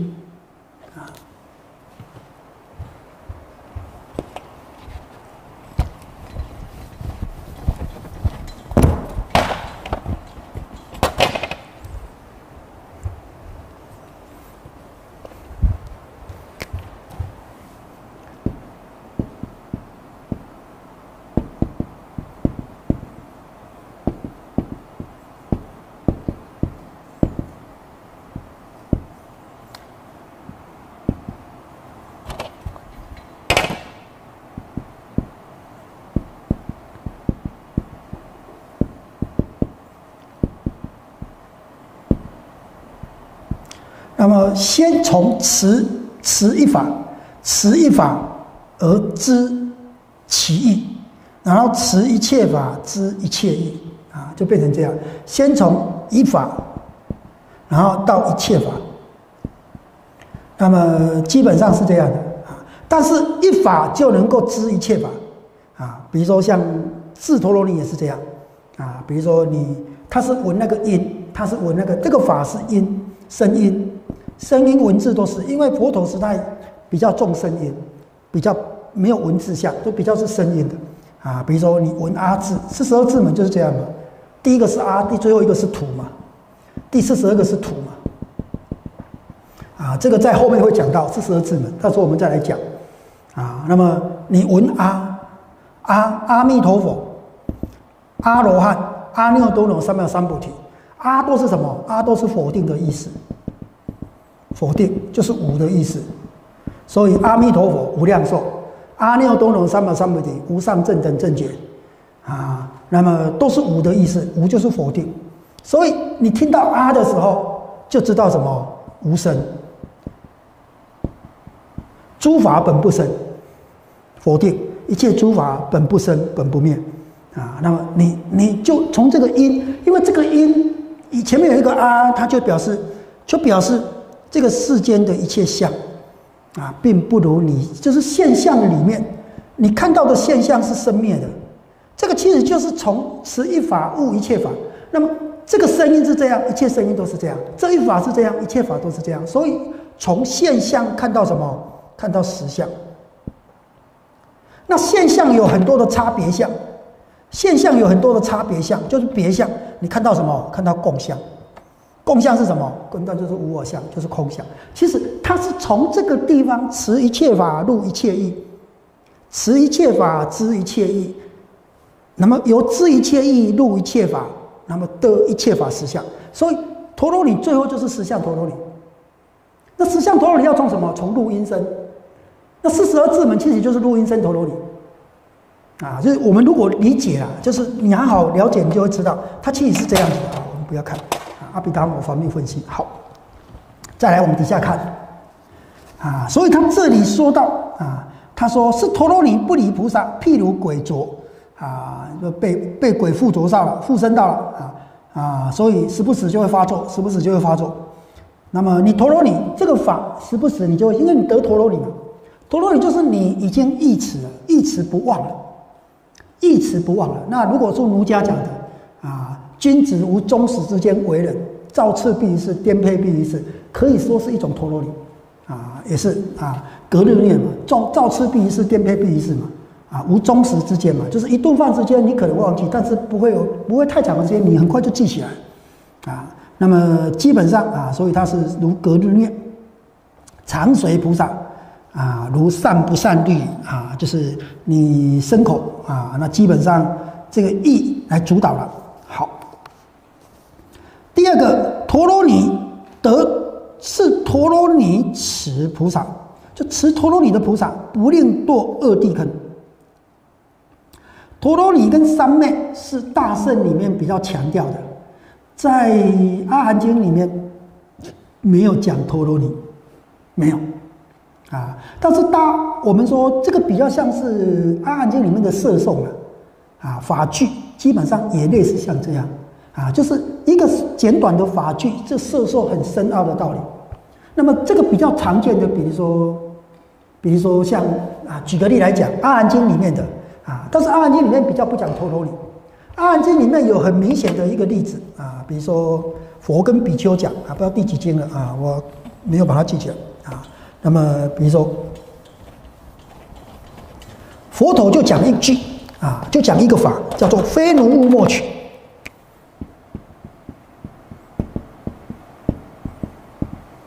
就这一法啊，就这个是法法句啊，那你受持了啊，你受持文持陀罗尼，然后知意啊，分别知陀罗尼啊，那么开始思维啊，佛陀说非奴勿莫取啊，在杂罕前面那边五音颂那里就有了啊，他说不是你的东西，你不要拿，那你开始想，那世间有什么东西是我的？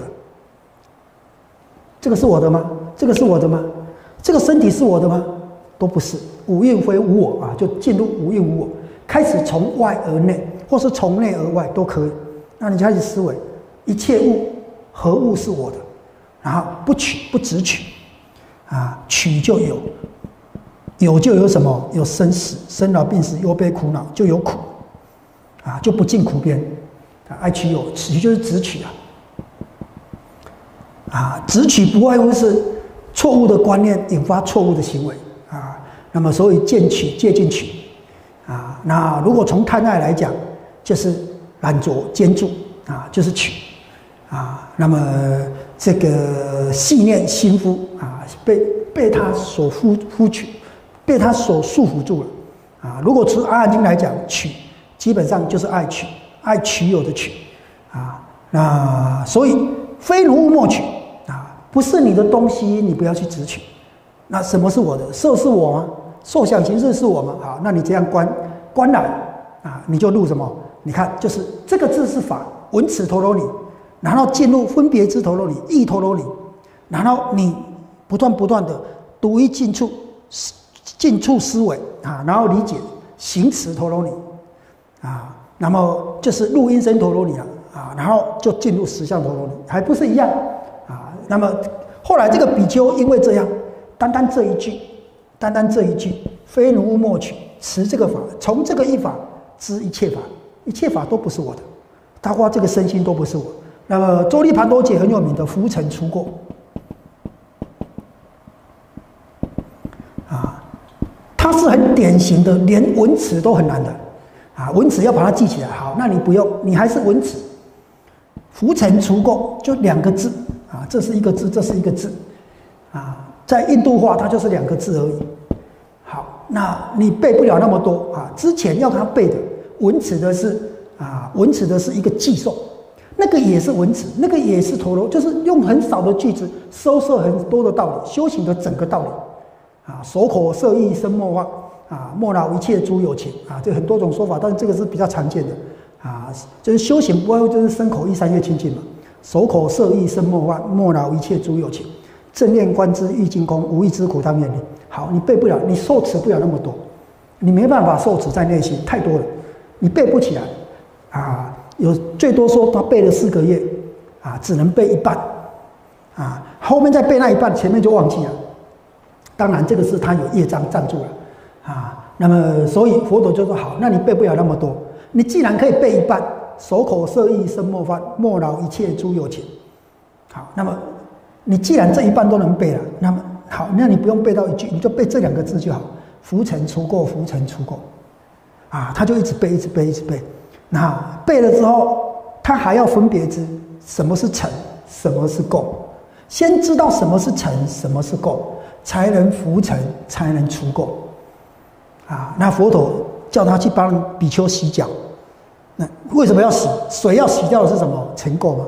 那脚上有脏嘛？去拖波回来，走路回来，吃饭以前洗脚、洗手，帮比丘洗脚，然后去怎么样？去整理讲堂，去做扫扫除讲堂的工作啊。那么浮尘出垢，因为讲堂为什么要扫？因为有尘垢啊。啊，然后开始这样想，分别之。分别之，但是他要先先记着浮尘除过，浮尘除过，要记住佛陀叫他去扫讲堂，叫他去帮比丘洗脚，这个都是浮尘出过的工作。然后渐渐由外而内，他要分别之，他要思维啊，他要录音声啊，然后开始怎么样？那我内心有没有什么尘？有没有什么垢？有，烦恼就是尘，习气就是垢啊。当然都是烦恼，粗重的烦恼跟微细的烦恼啊。这个解脱道里面。没有断除习气这件事，只有断除烦恼这些事啊。那么比较粗的烦恼，比较细的烦恼啊，无立时无顿时。好，那么开始注意内心有没有起烦恼，有就除掉，因为他要注意讲堂有没有有没有灰尘，有没有污垢，有就要除掉。那么要开始注意到内心由外而内，由外而内。那这个非如物取是由由外以上是由外而内，或是。由外，世间上这些东西都不是我的；到观察到身心也不是我。那么这里从外在的成垢关导到内在的成垢，那么一有烦恼就除掉，一有烦恼就除掉，一有烦恼就除掉，啊，之后也证阿罗汉。那么这个基本上就是依法知一切法，依一意知一切意。那一切一切一切的烦恼都是成，一切的烦恼都是过，啊，也一样啊。那修行他如果掌握了这个道理，掌握了这个道理，以一法知一切法，以一义知一切义，识一切法知一切义，总一切法知一切义，啊，那么这个是主要啊，主要的这个啊，这个这个道理啊，他当他这里讲到啊，我们把这个三个讲完再再下课。他说陀罗尼此菩萨不令堕恶地坑。啊，那么这个大圣里面才有讲陀罗尼跟三昧啊，比较讲比较多讲这个了。那他这个陀罗尼主要是啊，菩萨菩萨要得要总持这个菩萨意的，所以不令堕恶地坑。我们的声闻里面类似像这样就是陀罗尼啊，但是他不会堕恶地，因为菩萨持的陀罗尼就是菩萨告的啊。那么他不会正入声闻缘觉地啊，所以不会堕恶地坑，因为在般若经，因为龙树龙树是依般若经的，般若经啊八千颂的，两万五千颂的，这个早期的般若菩萨如果证入恶地，就是焦牙败种，就不能成佛了啊，所以他不会，他可以解脱，他不解脱，他行菩萨道。他不，他可以出三界，他不出三界，所以菩萨道是四出世界嘛，出三界是出世界嘛，所以他不堕，不令堕恶地坑，啊，就是持菩萨意的，持菩萨意得菩萨陀罗尼的这个菩萨法的这个陀罗尼的这个菩萨不会堕恶地坑，因为他不会忘失菩提心啊。譬如慈父爱子，子欲堕坑，慈令不堕。所以啊，陀罗尼的功用啊，那么闻法不失，而且他不会退失菩提心啊，啊，不会堕生闻缘觉地啊。那么另外啊，这个因为它有大悲心啊，有菩提心，有大悲心啊，那么所以它不会堕生闻缘觉地。另外不为魔动。得陀罗尼故，一切魔王、魔名、魔人无能动，无人破，无人胜。啊，譬如须弥山，凡人口吹不能令动，因为他的心非常的坚固，他不会忘失。我们再回到啊，第第这个陀罗尼名义，能持种种善法，他持的是菩萨法啊，菩萨法啊，不会漏失。所以，因为他恶不善根如果升起的时候，那还是有漏的嘛。当他起恶法，或是要退堕、退堕入声闻地的时候，这个时候能遮念不生。如果要造、要起烦恼，能念不做；如果他能起要作恶的时候，能念不做；要起烦恼的时候，能够念不起烦恼，那魔怎么能够动呢？魔就是什么？让你起烦恼的嘛，让你造恶业的嘛，那个叫做魔嘛。其实魔就是让你起烦恼的嘛。那么你在境界上起烦恼，你才就是为魔所使嘛。那现在这个陀罗尼能够让遮，就是能够让你的烦恼不生，让你不会因为烦恼去造作恶业。要造作恶业，他让你不做。所以因为这样，所以魔王、魔名、魔人无能动，啊，无能破，无能胜，啊，才有这样的作用。好那这个其实就是这个陀罗尼讲的三种的功能。好，那后面就有陀罗尼的种类啊。那这个我们下次再说。就是说，讲到这个陀罗尼啊，那基本上你说声闻没有吗？声闻陀罗尼就是持令不失嘛。那有没有？有啊。呃，这个你甚至你只诵持一部经也可以，你从这部经里面都可以依之得解脱。都可以的，啊，那么它还是陀罗尼，因为陀罗尼的重点就是一持，一持这个法不失，然后这个法在你的内心产生作用，了解这个法，其实就是我们简单讲就是闻思修了。陀罗尼其实就是闻思修的次第啊。那你闻这个法，那么你要依持嘛啊，独一进处，专心思维，你要分别知。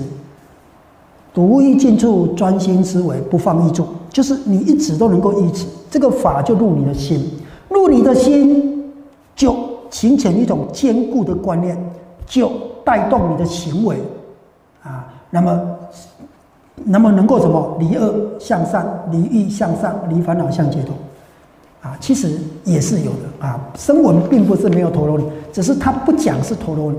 它就是这种作用啊，然后能够让什么让不为烦恼所动，所以就最后一个啊，那但是它多了一个，就是它不多二定，因为它这个是菩萨法的陀罗尼啊。那声闻基本上不讲陀罗尼啊。好，好，那我们今天就先讲到这里啊，后面才来讲啊，有三种陀罗尼啊，大概我们有做到，然后讲什么叫做。入音声陀罗尼啊，文词跟分别知就比较简单啊。那重点是怎么修？你是你对你所受持其了解的法怎么修？分别知的法，比如说你修心经，那心经要怎么修？你知缘起，你受持这个缘起，缘无名有形，缘行有思，缘事有名色。好，那么缘起有漏的，怎么到无漏？生死怎么到涅槃？有因有缘世间起，怎么到有因有缘世间灭？流转的缘起，怎么到还灭的缘起？你也知道啊，你也知道，你也思维啊，但是要怎么修啊？所以他这个录音声讲的很多。好，录音声讲的很多啊，后面就讲很多很多五百陀罗尼啊，但最后啊，如果我们这样看，就这三种是主要的，三种主要的，再配合卷八十五的讲文词陀罗尼，后面有一个十相陀罗尼，就四种。就就这四种，就是文思修正的次第啊。那佛法其实就是这样。好，那我们今天讲到这里，大家合掌回向，愿以此功德普及于一切，我等与众生皆共成佛道。